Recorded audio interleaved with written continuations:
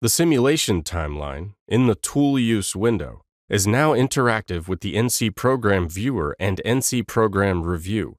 It has been enhanced to include all of the time used by the machine to complete running NC programs and markers that show when errors, warnings, and other events occurred during the simulation. Activate NC Program Review and then click directly on an error marker shown in the timeline to review the error and investigate exactly where it occurred in the program. For more information on the interactive simulation timeline, see the Vericut help.